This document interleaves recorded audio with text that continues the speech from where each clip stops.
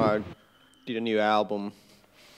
I've been doing it for a couple of years now. Uh, kind of like bigger project. I did some stuff with the big band in Finland and and also stuff in my studio. This is kind of like um, fusion, jazz fusion rock, jazz rock. I use like session musicians, so um, it depends. Like most of the time, the setup is a little bit different. But you know, these guys, I don't know, a couple of years. You know, I just make music every day, so I don't, I don't get inspiration. I just do the stuff. You know, just go there, you know, in the studio and do some whatever, you know, fool around. If I do some photos, I use them for the cover arts and stuff. And um, well, I don't do much film nowadays, but I, I do um, videos for my own stuff. Mean, videos nowadays they don't. It's kind of hard to get them shown unless you're like uh, in the top ten. It's like uh, like uh, Universal Mafia nowadays. Like you know, it, it's only for the only for the big labels. It's so boring, and uh, so the videos. I just make it with, with my computer or you know take some stuff with my video camera and you know make it for, for nothing, which is the only good way to do it now because you know you can't get any money out of videos or it's just waste of money and I'd rather spend my money on uh, music production. yeah, I know. Well, I don't know. The mainstream pop music is so so crap nowadays that um, people want to do something a little bit different, like jazz rock, you know, fusion. Yeah, there's all kinds of elements.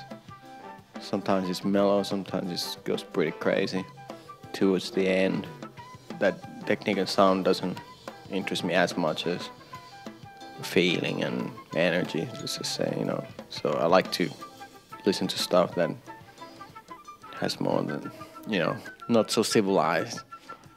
I want to be, uh, uh, well, musically underground, but money, uh, no, I don't. No, underground is, is clear, you know. I, I don't care about the money, you know.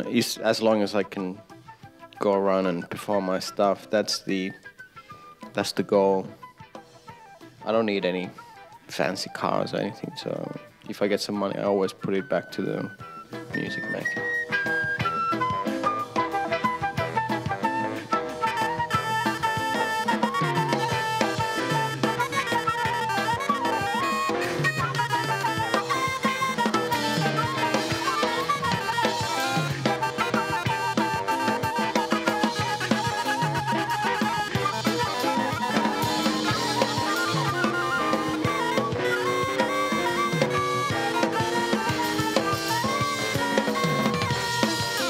Try to get inspired more with stuff that is like sentimental and uh, or energy instead of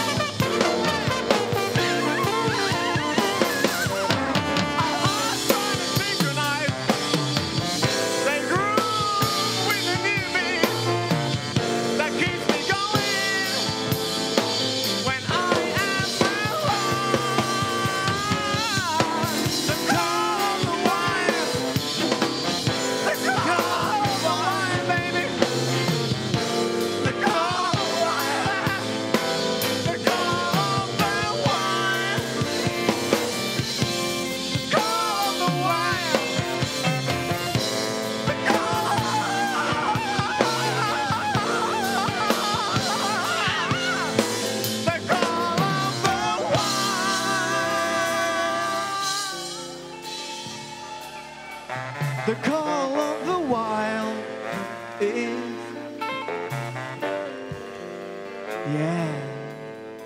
It's driving me crazy.